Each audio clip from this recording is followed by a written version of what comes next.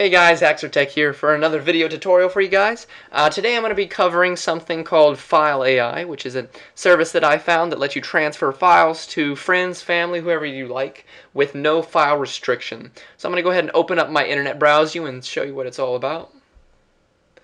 Alright, this is my new homepage guys. So I'm going to go ahead and type in uh, File AI into my Google search here.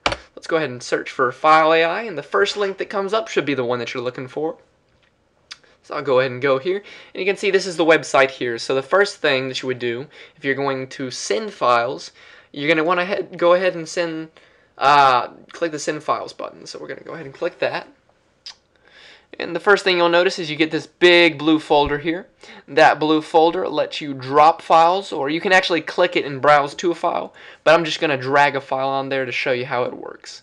So I'm going to go to my desktop and get something pretty simple. I'll get a quick image for you. Drag that image right onto the folder, and you can see it creates your own transfer ID. So my ID is 630.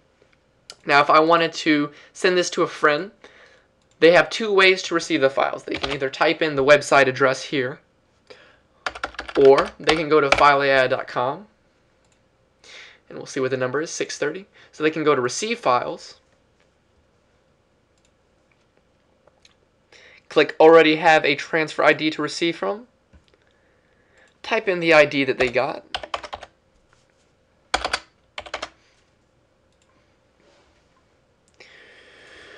And it's really just that simple, guys. Just browse to wherever you want to download the file to. And just like that, the download starts. And it's already done. So you can see it's at 100% here. Um, you have the downloading number and the total downloaded. So basically what you're looking at here, on the end of the person who's actually downloading the file, they can see what the progress of the file transfer is at. So they can see how close they are to receiving the file and then on the end of the user who's sending the file, they have their own little status bar here. You can see the IP address of the person who's downloading the file, the status, so if they're done or not, and then you can see what percentage they're at as well. So you both can see um, what the progress of the transfer is at. Uh, the nice thing about the site is that number one, as many people as you would like can be downloading the file from the same link at one time. So you can have 100 people or one person downloading the same file from the same site at the same time if you'd like. There's no file restriction. The only real limitation that I found with this website is that you do have to keep this tab open while you're doing the transfer until it is complete. Once it's complete, you can exit out and then the transfer will no longer be valid. Um, however, if you do exit out, you will have to create a new link if you want to send the file again.